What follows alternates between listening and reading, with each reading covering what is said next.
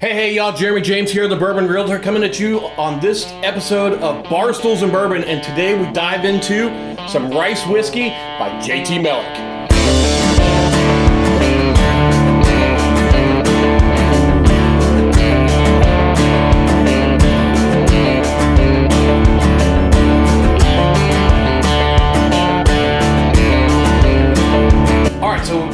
Those of you who've been watching the show for a while, you know a couple months ago we came across this interesting bottle of JT Meleck Louisiana whiskey. Uh, um, and super excited to be able to have not only the barrel proof, but also the owner and master distiller and head cook and bottle chef and everything else, um, Mike Fruge, right? That's Come on in, Mike. That's right. Hey, how are you doing? Great Excellent. Good to see you. Thank, Thank you for you. coming up. Um, you brought some of your Louisiana weather with you. Yeah, it's um, some, yeah. it's getting warm, but if you're like, if the air conditioner's on outside, what's yeah, going this, on? This is, uh, well, you know, it's probably 10 degrees hotter in Louisiana than it is, I just, here. But I, am, I am not yeah. built for that life. I'm just not. Yeah. Well, Mike, I, um, like I said, a couple a couple months ago, you and I got talking. Right. Um, got a hold of your, um, well, it's it's your standard uh, 90 small batch, small batch right. 90 proof um, version. Loved it. Now, the story goes um, I was driving into Wilderness Trail Distillery, and uh, as I pull up into the parking spot, um, I'm just sitting there working on whatever, shooting a text or doing whatever. Right. And, and I hear this on my window, and I yep. turn and I look, and there's this long goatee staring at me, so I knew it was Pat instantly. And he, I roll down my window, and he goes, just like this, you got to try this. Yeah. yeah. and, I, yeah. and I was like, I was like, all right. I'm like, tell me about it. And he goes, no, no, no. He says, just try. Yeah. And took a sip, and I was immediately blown away. I mean, I was just like, Absolutely. oh my gosh.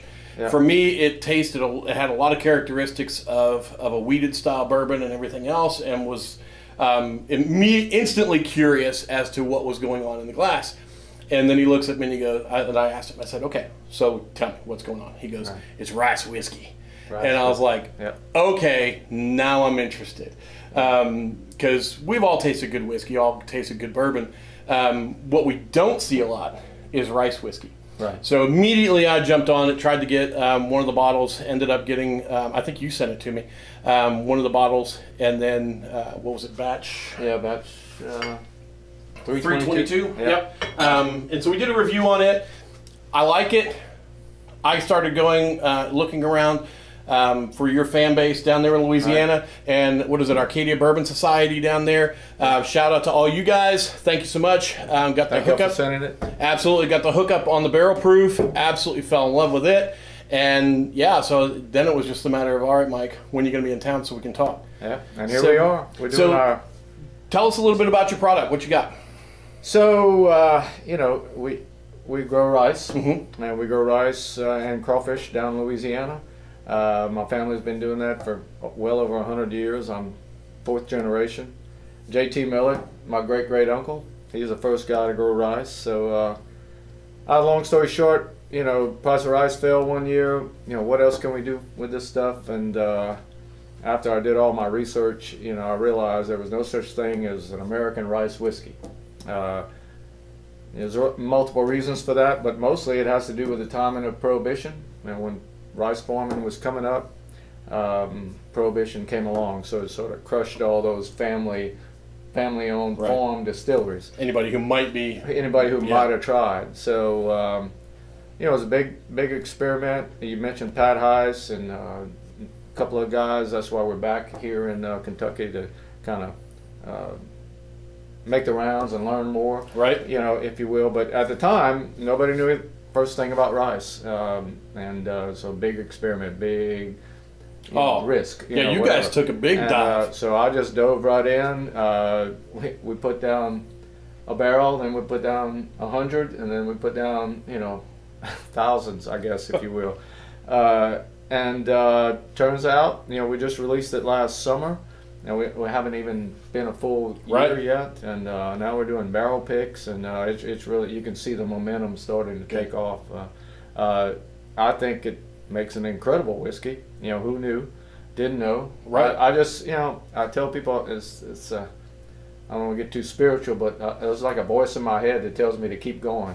Hey, you know, it's all those presidents in your wallet. yeah, yeah, that too, that too. You know, it, it gets uh, it's an emotional business. It goes bet. up and down. You know, good days and bad days. But uh, uh, you know, just to talk about it a little bit, the the nose. You know, that's the main thing everybody Yeah. notices. Well, uh, on the label, Yeah. you got a glorious label, Yeah, and I know you guys went through a lot of changes and stuff, getting it kind of dialed in. Right. Got a big old mud bug on there. Got to Yeah. be about life size too. That's that's about Yeah, right. pretty much. that's that's a that's a good Yeah. eater right there. Yeah. Um, so tell us a little bit about you because you um, obviously you've got that heritage and everything else going on um, with not only rice production but also the crawfish and everything else that you're all got doing down your farm. I'm going to go ahead and pour us out. This Yeah, is batch one one twenty three. Well, there you go. 123, yeah. One of my favorite batches, by the way. Our batches are about uh, 8 to 12 barrels per batch. Uh, we blend them all ourselves, or I do on the desktop. There you go. I'm not a master blender, but uh, we, we uh, well, cheers. Cheers. Yep. Yep. Still smells good, thank goodness. Yeah.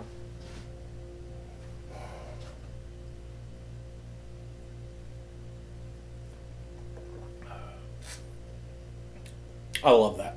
Yeah. I love that. Good. Because nose I do is. too, but yeah, but you're biased. I mean, you've got the T-shirt. You gotta love yeah, it, right? Yeah, yeah. The nose on this, it's for a four-year-old. When we typically talk four-year-old whiskeys, four-year-old Right. bourbons, we, um, I typically look for a really grain-forward whiskey, either really heavy corn or rye or barley notes right up front, um, and you can, and typically you can taste that young age. Yeah. you can't taste four years in this at all. It's not that si- that same type of grain forward. Mm-hmm. For me, because I've been wrestling with these things for, for a little bit now, and just really doing a little thinking about it, and not nearly as much as you have, obviously. Yeah. But I think what I've kind of settled on is that the rice has such a lower flavor profile mm-hmm.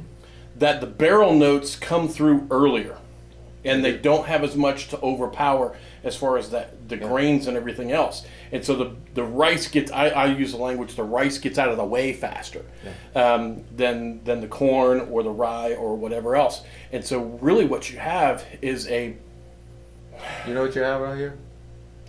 this is barrel gold right Rice and gravy. this oh nice if you're from South Louisiana, you know what I'm talking about. Uh, so we all cook, all all the people cook, and uh, rice is a big part of our our meal profile, if you will. And you put gravy on your rice, so that's why it, it just soaks up the barrel so fast. I think. and that mouthfeel for a four year old Yeah. that's crazy to have that Yeah.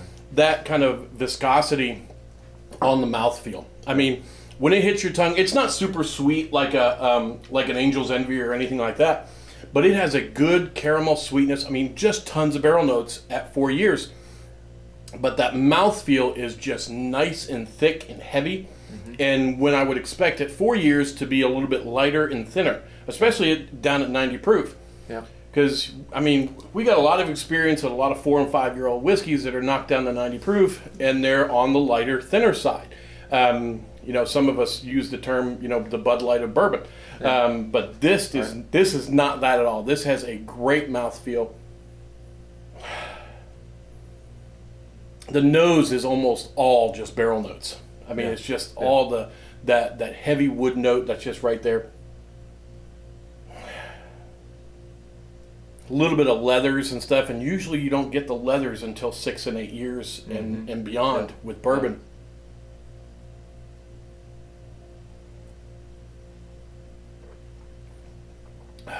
It's creme brulee. no, it is. It's creme brulee. It is. Yeah. It's that creme brulee. It's Yeah, that thick, yeah. rich, creamy, with that sugar taste, that burnt sugar taste. it's creme brulee. exactly what it is. That's a great way to put it. That's that flavor. It's creme brulee. And so I know a lot of our folks, when they hear rice, they're going to immediately start Yeah. kind of recoiling, Yeah. and all of, all of a sudden they're going to think, That's "Oh, my well, biggest challenge. right, Yeah, is overcoming the biggest misconceptions." Yeah. Well, and that's why Pat handed it to me blind. Yeah. Because brilliant for Pat. I mean, seriously, b brilliant. Um, because immediately when I heard it, I think I think, oh, it's Japanese, and then I start thinking Japanese whiskey, and I'm like, no, no, that's not even the right, Right. topic because they're still doing Yeah. corns, grains, corns, rye, malts, everything else. And then I think, okay, what else do I know that's rice? And I think sake. Oh Lord. And that's even the wrong. if you're even thinking sake with this, you're in the wrong category 100%. That's the, Um, that's our biggest challenge. You know, people go sake. No, No. not not not even the same realm. Um, we, I mean, I set out to make an American rice whiskey, an American, a whiskey out of rice in the American style, using yeast. You know, using it the way you would make a bourbon. Our our barrel profile is a very heavy bourbon forward. I mean, it's a bourbon barrel. Right. Uh, Made that- for bourbon, right? Made for bourbon. Right. That, that's intentional. You know, I wanted a bold whiskey that would stand up. We, we have a camp culture in Louisiana. Mhm. it Everybody goes to the camp. Right. The deer camp, the goose camp, whatever. And um, if you can't get this bottle to go with you, you, you you're not going to make it. There you go. Yeah, you have to be able to Sitting go to around the camp, campfire, you know. sipping on that. And Yep. they got yeah, sit around the campfire. Um, you know, it, it's um, that's what they're going to do with it. So you have to be able to stand up to that. And uh, and this does. I mean, it's a bold whiskey. Absolutely. And it, I mean, for- it turned out better than we could have hoped. Really? I, I'm shocked. I mean, Yeah. really, because it's We are not. too. It's it's really not what I think of when I think of something that's four years old. I, Right, I right. really don't.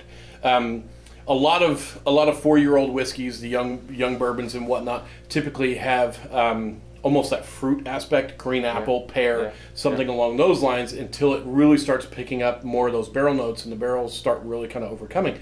But this doesn't have that. This tastes more to me like a six to eight year old bourbon than it does anything else. Yeah. It's got so much barrel character. There's no astringency to this at all. I mean, it is it is just as as nicely balanced as you could possibly imagine.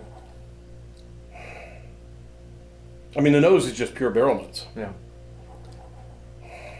I know for sure, you know, that um, this is a four-year-old, and as it gets older, five years is even better. So we hope that we're going to have a six or eight year, but I don't know if we'll go much beyond that because it just it just draws it out. Right. Yeah. Just, Well, yeah. if if it's any if it's any stays in keeping with the with it overcoming the rice character, Right. then it could probably be- get pretty over oaked much earlier. Earlier, if it starts having this kind of quality now. And you know, we're aging in South Louisiana, so, So you got know, the heat. We got heat units, you know, nothing but heat units. So um, we uh, we're probably aging faster. Yeah. Uh, fortunately, we, we get pretty good yield. You know, we're not Right. losing too much.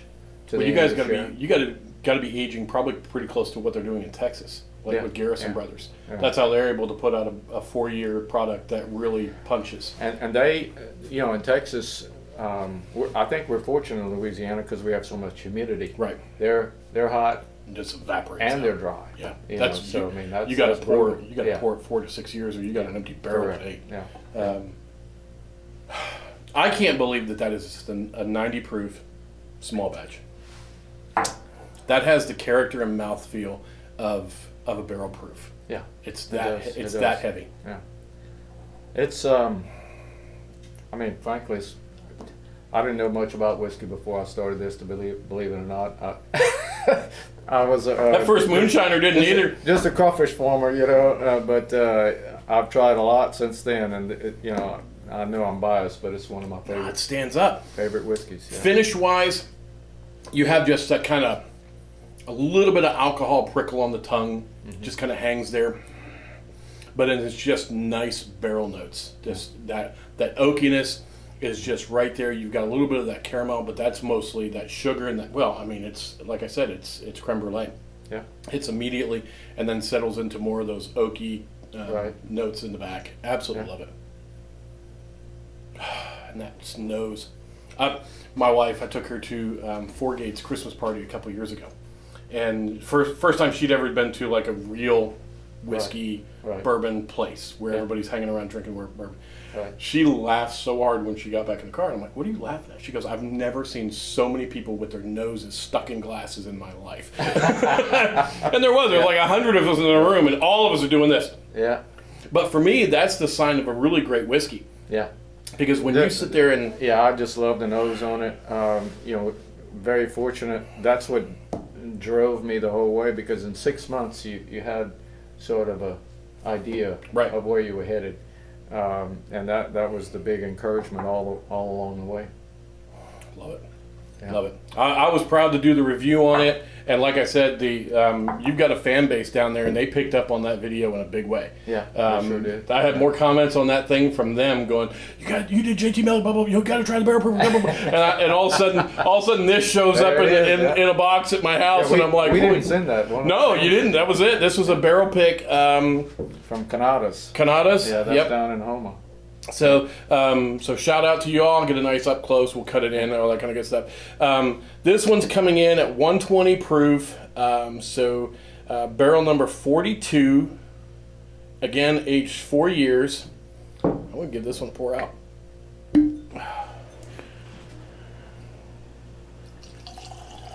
If I'm pouring too heavy, I'll Yeah, let you. I'll pour a little bit. Yeah, do you go ahead and you pour. I, I don't want to go too heavy on you.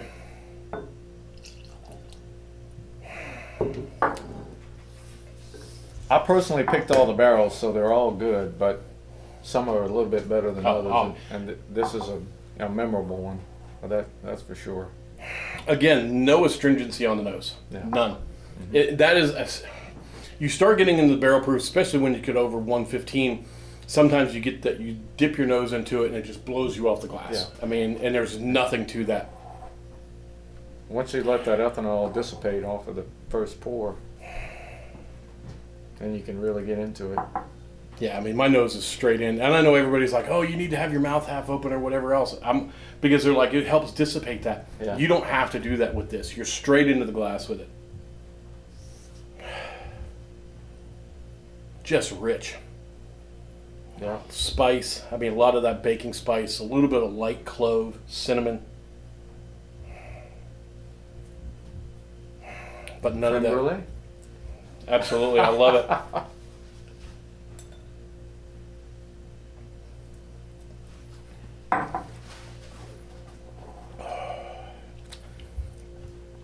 Creme brulee is still there. You have a little bit more alcohol heat Yeah. on the mouth. Yeah. But these drinks so similar, even at 30 proof points different, Yeah.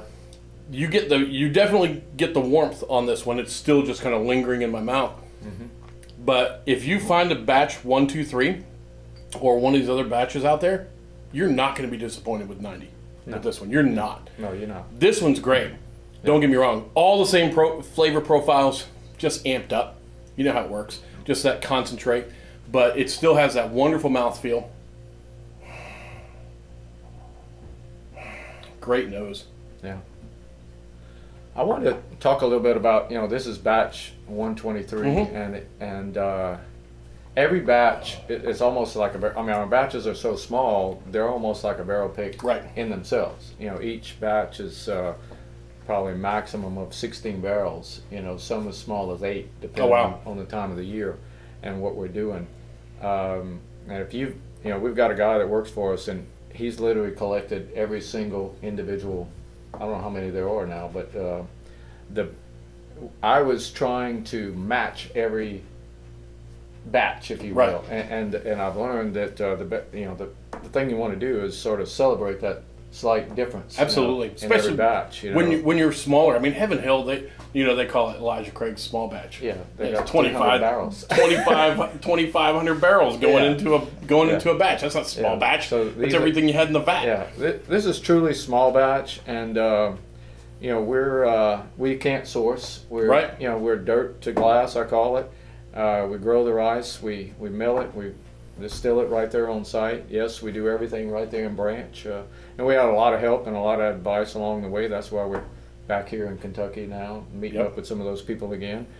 And uh, but uh, you know it, it's. Uh, no lip syncing going on here. I, like, I like that. Yeah, I mean, because it's not like you can start up and, and call up, you know, a, a contract distiller and say, "Hey, you know. I want 100% rice whiskey, uh, aged four years, Right. da da da, in these barrels." Yeah. Um, I'm, I mean, you could get somebody to do that work for you, but you can't just call somebody up and buy the barrel. yeah, it's not in their catalog. It's not in their catalog. Yeah, So, yeah. uh, you know, we I'm, I'm uh, I say it often. I'm a, obsessively authentic, you know, and sometimes that's to my uh, not, you know, obsessed with it too much. But uh, this is, you know, something we we created right out of the dirt, you know, in Branch, Louisiana. I'm pretty pretty excited about it. Yeah. It's almost a miracle. well, it, it re- it's crazy because we when we think whiskey and bourbon, we think it has to be corn. It has to be yeah. either rye or wheat. Yeah. And that's all we think. So that even when you bring somebody and you say, "Hey, I got a rice whiskey," immediately they're thinking, "Okay, what is this animal? What what oh, what's going on here?" You, you mentioned Pat earlier. My very first phone call to Pat Heist, you know, six seven years ago, however long, you know, he answers the phone they they were still in construction. He I think he was on a bulldozer at the time. You know? Sounds about right. And I tell him, you know, uh, rice, and he goes, "What?" I was like, "Rice," and he's like, "Oh no, that's just going to gum up everything I have. We can rice, no, no." And uh, you know, so that's where we started. well, and and I mean, Pat is amazing. I mean, you talk about a renaissance man. He, he's yeah. Uh, there's not much he doesn't do. I mean, yeah, he's yeah. PhD. He's literally a, a, a, professor at University of Kentucky. Yeah. Um, and and I mean, he teaches classes and yeah. makes still teaches classes. Still teaches classes, right? And trust me, you first learn if you he's doing it for fun now. If you meet Pat outside of of the university setting first, you the last place you're expecting to find Pat is in yeah. a university setting. Yeah, and that's the last place. Yeah, um, he's got a my favorite line from Pat because he's got that long goatee, and people yeah. always like, "Oh, you're modeling after Pat," and I'm like, "Man, I could never carry that." Um, but he always says. Um, inviting me into your distillery is like inviting a vampire in your house. And just, I just lean down and in there mash and just soak some up and then scrape it out in the car. that's right. That's and, exactly what he does. But I mean, yeah. that's in and he is just such a brilliant mind. So for him to be involved in helping you guys get straight yeah. um, is incredible. Now, the one thing that um, that really kind of blew my mind when I started researching what you guys are doing, kind of looking at, at your process and everything else, you've got a nine day ferment on yeah. on your rice, yeah. which is three times longer. Well, almost three times longer, twice as long. It used depending. to be 14 days when we first started. We, we, we're improving. Yeah, I, you yeah. cut your time down by half. Um, but you're talking like corn, wheat, rye um, with the with the malted barley. Typically has three to five day. Correct. So you're at a nine day. You're already doubled on firm time. Right. So I mean, obviously that limits your production as far as um, being able to, to churn and burn. No, like it just it, it, it, doesn't limit your production, but it it makes you have to have more physical fermentation right. on site. Yeah. So you have more tanks. You just have to have more tanks more rolling going at the same time. Um, you know, I've just recently, in the last six months, sort of revisited trying to uh, move that forward, that timeline.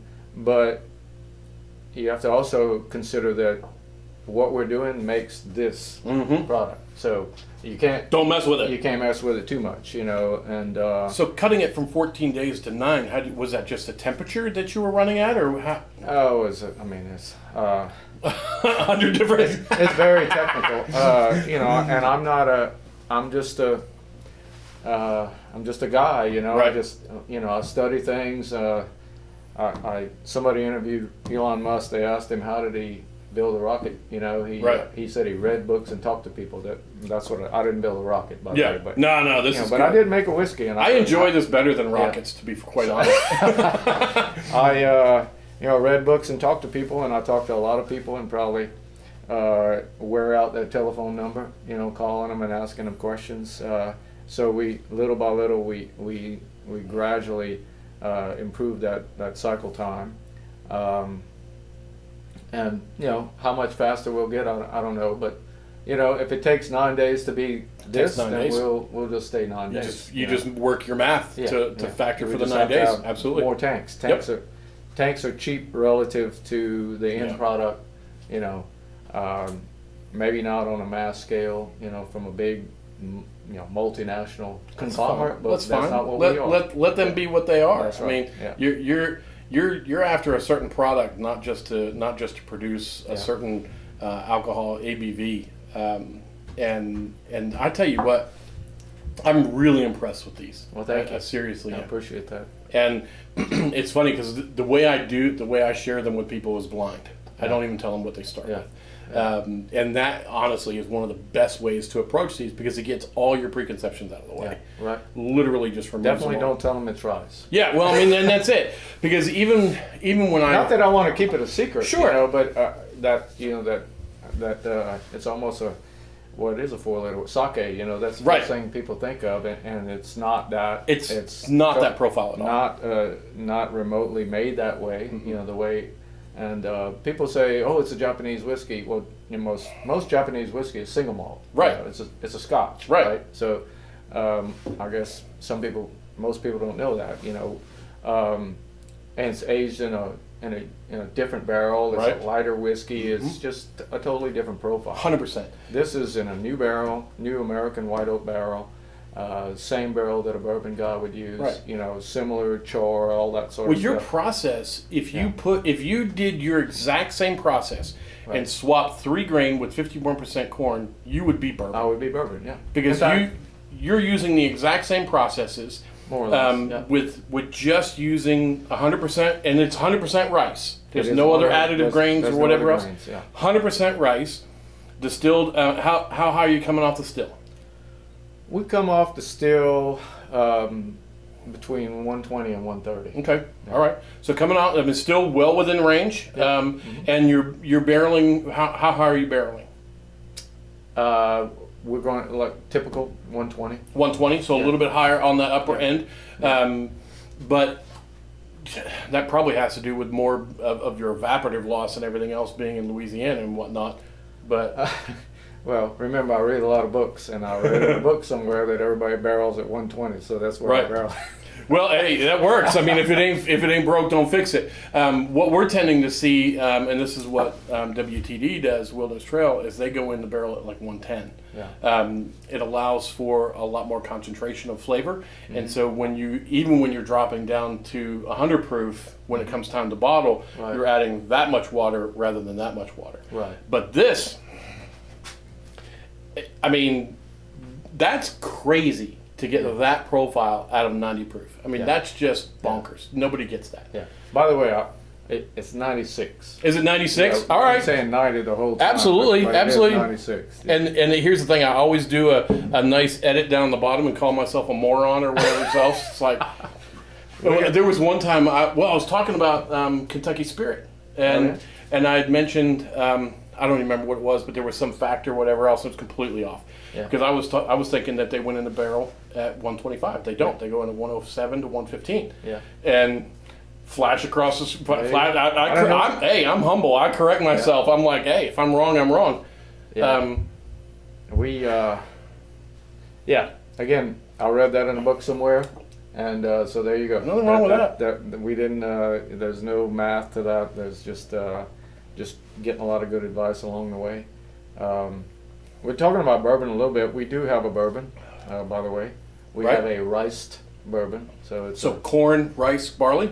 no, just corn and rice. Okay. Uh, and uh, it's it's just a test profile, if you will. You send it to We- me, we I'll only- test it Yeah, well, we're only, only going to have a few barrels of that, and uh, you know, if it if it turns out good, it's going to go longer. Yeah. You know, it'll be a six-year-old before we release it.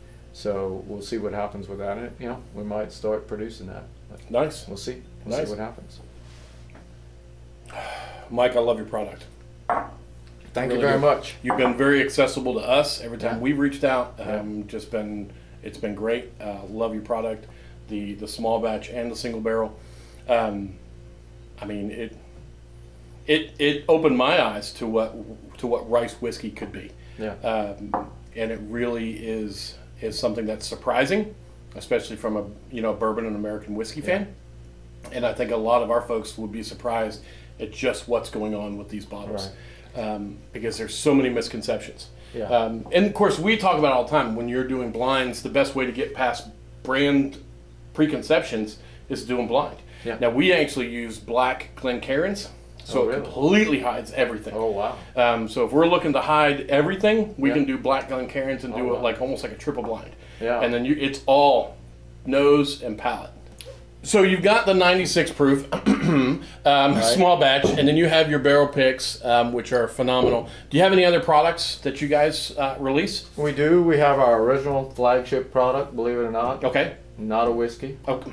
All right. All right. We'll we'll I'll, I'll we'll, grab it. We'll we'll try this out. Uh, so uh, every new distiller has a vodka. mm-hmm. Uh, before, believe it or not, before I started making whiskey, I drank a lot of martinis, and uh, that's what I went after to start with. And Nice. uh, if there are any vodka drinkers out there, it, this may be the best vodka you've ever had. Uh, I'm I'm not exaggerating. The mouth, imagine the mouthfeel on the whiskey, Mm-hmm. on the vodka, very soft, creamy on the palate. Uh, you know, a I- not a dirty martini. Doesn't Right. need to be dirty. Just It's clean. clean. Yeah, just clean. That comes in at 80 proof, 80 proof, right? so a little bit drop down, but nice, clean. Love it. Yeah. All right. We'll set it in here. Uh, And I- I'm not a I'm not a vodka guy because typically I just I mean my vodka martinis are not real any any yeah, I mean, any most, martini. most people flood a martini with, uh, you know, olive juice and it turns exactly- green. Don't that's do exact- that. Do not do that. not with yours at least. Not with mine. yeah, that it- that's it- exactly my it's- martini. it's- My, yeah. mine's Uh, vodka with with olive juice. You know that. mo- You know, make it in the traditional style with fresh vermouth. right? not six month old vermouth. Vermouth is a wine, so you d- you gotta you know you gotta do it right. But uh, anyway, I don't want to belabor that. But uh, no, we'll we'll have to have you on and teach us how to do actual real martinis because I know how to make one cocktail. That's and it. it's bourbon in a Glencairn glass. That's, that's my cocktail. There you go. I, I do make a good smoked old fashioned though. I gotta I gotta say that. So There that that I can There work with. But that's Yeah. that's the extent of my cocktail making ability. yeah, Um, you know, as far as people always, where is it at? Well, it's it's in Louisiana. Okay. just about everywhere. Right. Um, it's in Arkansas, and we're just now going to Texas like this week. okay. Um, it's the end of May and uh, first part of June, and I think it's going to be available next week only at Goody Goody, um, at least for now. And uh, it's also available online at Bourbon Outfitters in certain states. Okay, so good. Depends on where you know where you're located, but uh, Yeah. Start creeping that as fast as we can. start creeping that distribution up. And and those of you who are out there, I want to again give a shout out to Acadia Bourbon Society. Um, I know some guys down there would be more than happy to give some folks some hookups um, on some bottles because uh, that's where that came from. Because I was desperate because nobody around here carries it. I mean, Right, I, right, I, right. They, they looked at me like I grew three heads when I walked into the Yeah. store and asked for it. JT Um, and they're like, dude, what?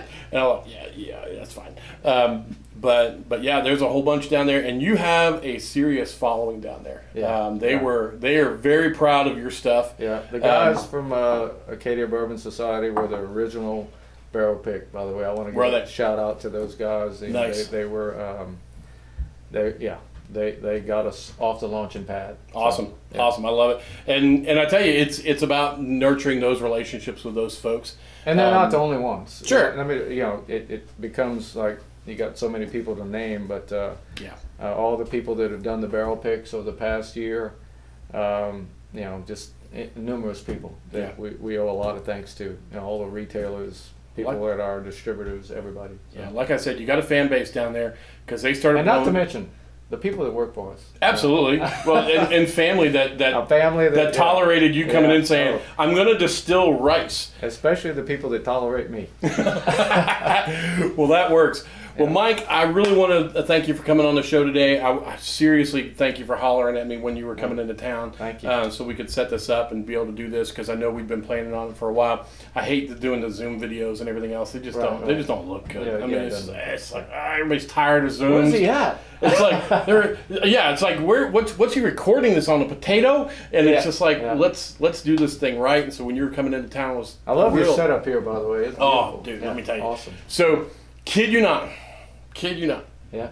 Sunday night, that camera was in its bag in my car, Oh, really? and it was stolen out of my car. oh, you gotta be kidding. I kid you not. And you got it back? I got it back. Really? I was stunned. So it wasn't till like Tuesday that we even noticed it was gone. Really? Because I mean, I'm moving stuff in and around. I'm all over the place. Whether I'm doing it for a shoot, or whether it's in the car, or whether it's in here. There's about four or five different places where it could be. So I don't think about it unless I'm going to use it. And then I was like, okay, So I've got the shoot coming up. Let's charge my batteries. Let's get going. Nowhere to be found. And then I'm like, oh no, you got to be kidding. And then we just started dialing in. We're like, it was in the car. It got stolen out of the car. Stolen. Neighbor's video, their ring camera showed it. This guy walking across the yards and everything else. you 2 a.m. Sunday night. And so I'm like, well, long shot. Let's call the police, have them come out, file a report. And I kid you not, Cody, and I'm going to show his picture, um, um, was able to track it down. Um, Really? So apparently, all serial numbers anymore, Okay. not like the old school pawn shop days. Yeah, yeah. Now, all serial numbers of anything like that um, get logged into a system that is connected to the police database. Really. And so, Okay. So they. um, so they were they can check it. So what it was is the guy who had it open probably didn't realize what he had when he when he opened the bag. Right. Then when he did open it, realized he can't pawn it. Right. And I just, whoever you are, I hate that you stole it, but seriously, thank you for not smashing the shit out of it. because I expected if we're gonna find it, I might get the bag back, but the camera surely is just gonna like Right. Right. heave it into the ground. But perfect condition, absolutely thrilled. So we've added a second camera. We've gotten our um, our lighting and everything. Uh, obviously, the um, this I love this natural bar top. We got Yeah. we got this last year and It's worked on this. Yeah. And then my brother helped me uh, do the bar do the bar back. Great. All the Um, backlighting it really makes the Oh, yeah. bottles pop. It really does. I love Yeah. it. This is my little this is this is my moment of zen. Yeah. So, so if I if I if I need some place away, it's just come down here and just Yeah. sit on the couch and just kind of relax. But well, Mike, um, I'll tell you what, we, um, I'm starting a tradition and starting with you, if you wouldn't mind. Oh. Um, it's nothing bad. I'm not going to make Okay. you jump pool in the pool or anything I know like nothing that. about this. Yeah, so um, I've got a sharpie right over behind you, Uh, um, and if you would, it should be like on that little bar, on that little table. Um, if you would, um, oh, right on the barrel. Um, if you Got would, it. sign our wall here in the corner. Here. Yep, anywhere. I do. Like big. It's fine, wherever how you want to do it.